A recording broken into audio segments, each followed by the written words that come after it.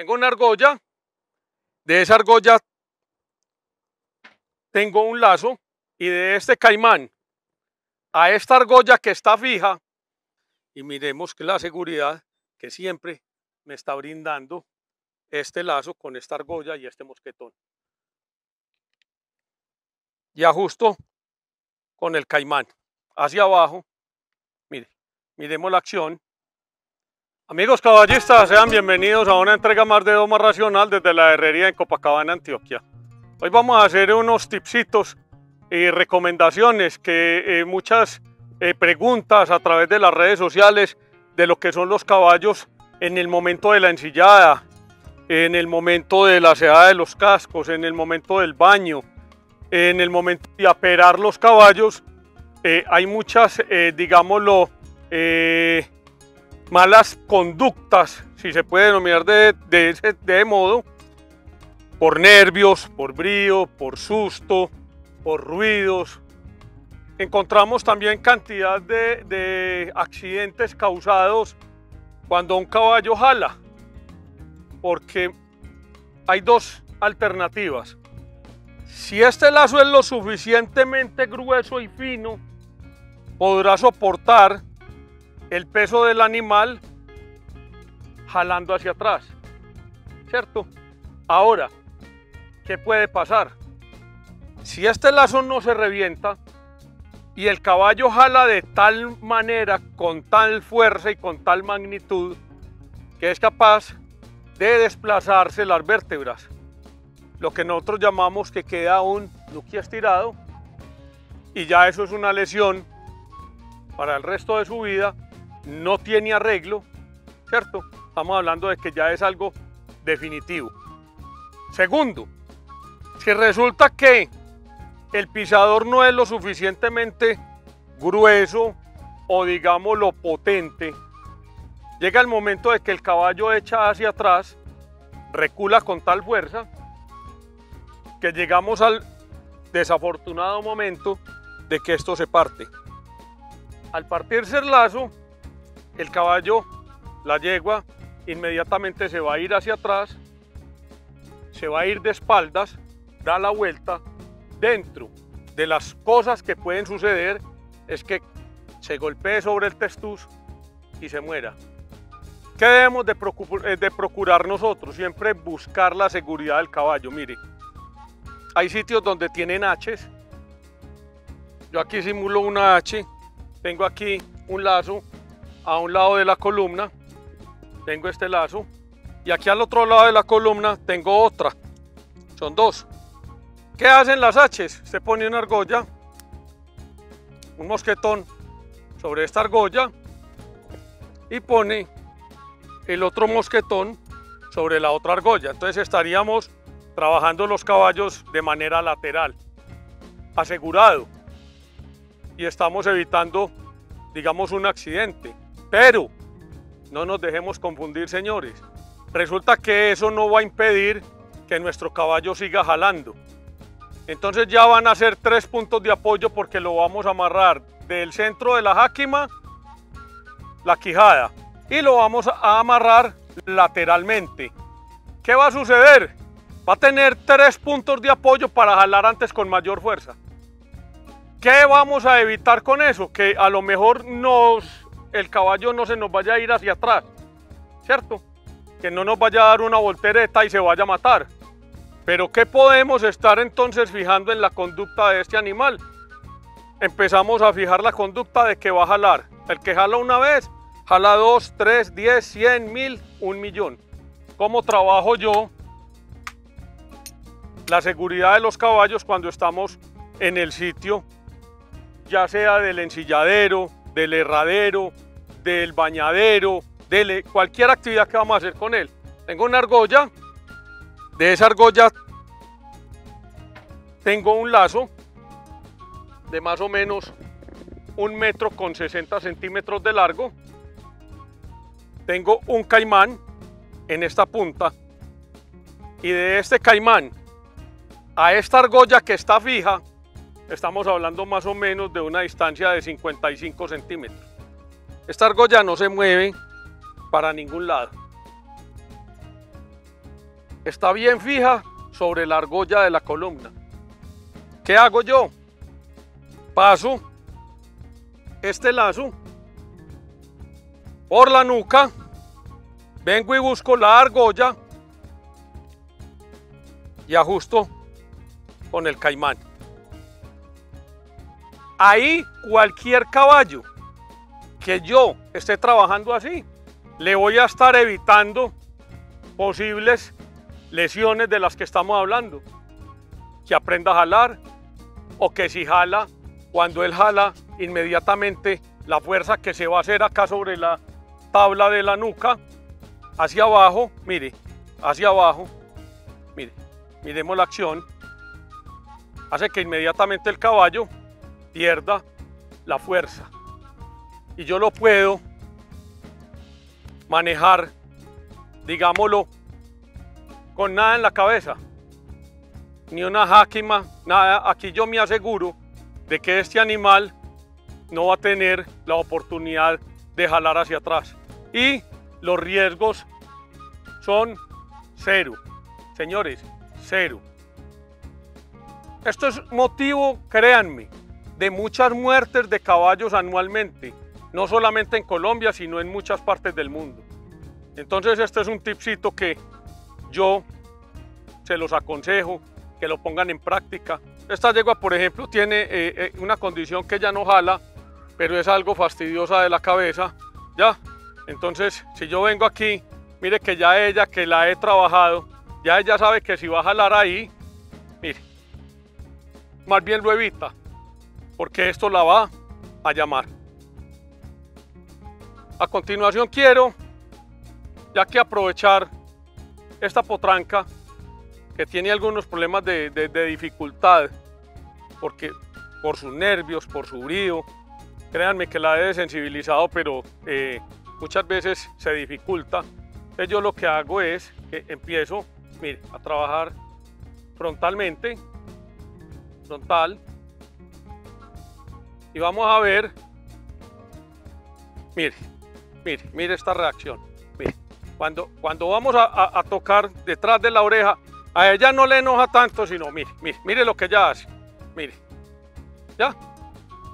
Y esto se nos puede presentar o con un mayor grado de dificultad.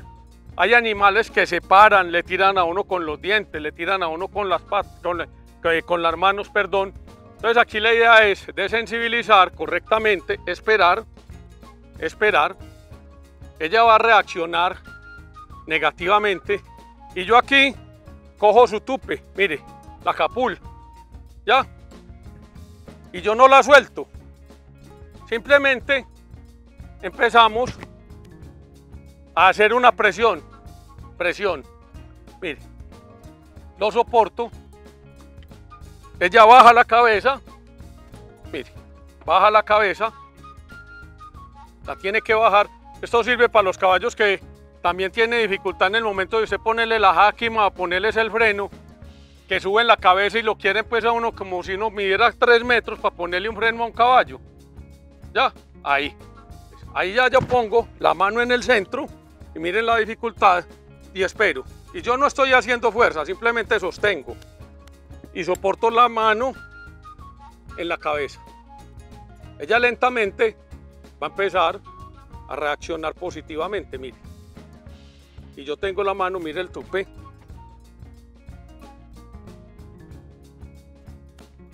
Ya la cabeza está abajo. Vuelvo y tengo, solamente soporto, espero.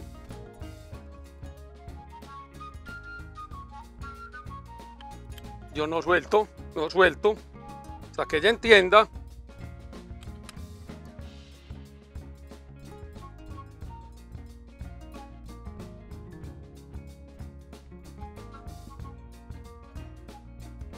despacio, dando tiempo, que ella lo analice. Entonces no hay necesidad de pelear, de amarrarlos, de ponerle jaquimas en la cabeza o cosas que les estén haciendo pues como impidiendo el movimiento, porque no se trata de impedir el movimiento, antes lo contrario. Yo lo que necesito es que ella se mueva para que entienda que esto no representa una amenaza, no causa dolor que yo desensibilizo, mire la dificultad, es bueno que la presente, porque si no entonces sería esto como muy facilito.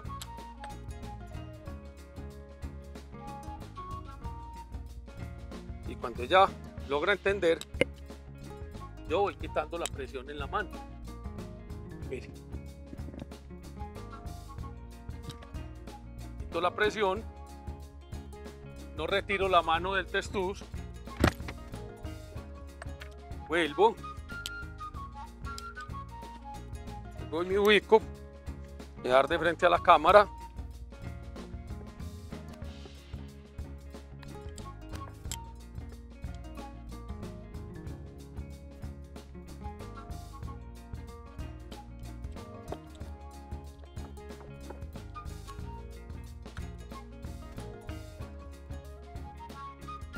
suave. Esto no es haciendo fuerza para que no crean que yo estoy jalando allá. Esto es sin hacer fuerza, simplemente soportarlo. No más.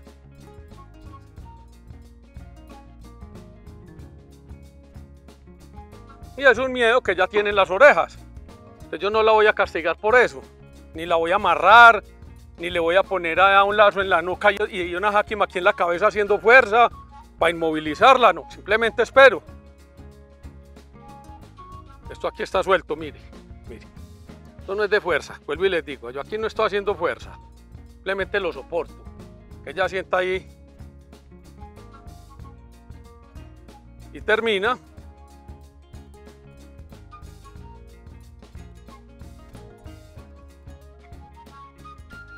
Miremos ya ahí, hubo señal de agrado, ya la boca la abrió, empezó a lamer, va encontrando un alivio.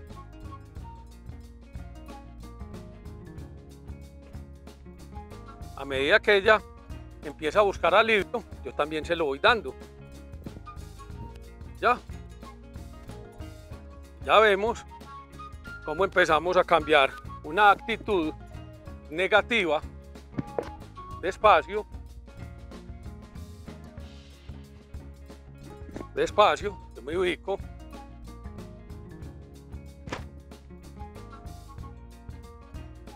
y logramos buscar que ella tenga tranquilidad sin hacer fuerza, simplemente soportar con paciencia, con cariño, con cuidado.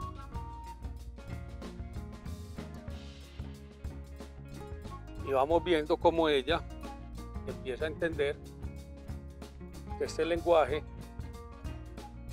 no representa peligro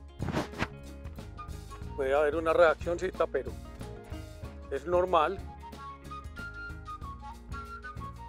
Hay caballos que tienen la facilidad, digámoslo así, de que no, presentan eh, grados de dificultad en el momento de tocarle las orejas, de ponerle la mano en el testur.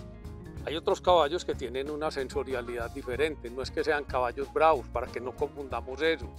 Eso no quiere decir que esta potranca sea brava, que sea difícil, no, es una potranca que todo lo que ella está haciendo lo está haciendo ¿por qué? Respuesta a una sensorialidad diferente que tenemos. Hay animales que tienen mayor brío, mayor capacidad de respuesta, que son más sensibles y posiblemente ella está relacionando esto o con una amenaza o esa terminal nerviosa es tan sensible en ese punto que hace que ella reaccione negativamente. ¿Qué sucede si nosotros, mire, con solo yo hablarle a la oreja ella inmediatamente empieza a cambiar la actitud, empieza a estar más temerosa. Entonces yo por eso estoy aquí hablando, cuando yo hablo, yo no hablo directamente a su oído, sino que volteo la cara para no hablarle directamente a las orejas. Sí, ¿sí ven? Entonces estamos hablando de la parte sensorial. Entonces aquí vemos ya cómo la potranca nos hemos gastado cinco minuticos aquí con cariño, con paciencia, haciendo las cosas como son y estamos encontrando que ella va alcanzando un nivel de bienestar y de confort donde ya ve que esto no es una amenaza. Pues mire, ahí ya la suelto, sensación de agrado, ya, vuelve y, y relame. Cuando encontremos sensibilidad en la cabeza de los animales, no trabajemos con los elementos justos, apretados, no, antes todo lo contrario, tenemos que dar sensación de agrado, sensación de que en el momento de poner una jáquima, nuestro animal no vaya a recular hacia atrás, no vaya a jalar. Hay que que lo vea por aquí, en este ojo, que lo vea en este, que lo huela y que lo sienta. Nos vamos a demorar, nos vamos a tener que demorar. Pero es que estos animales tienen dentro de su sensorialidad, los tenemos que trabajar para que nada ocurra. Suave, suave. Si yo doy libertad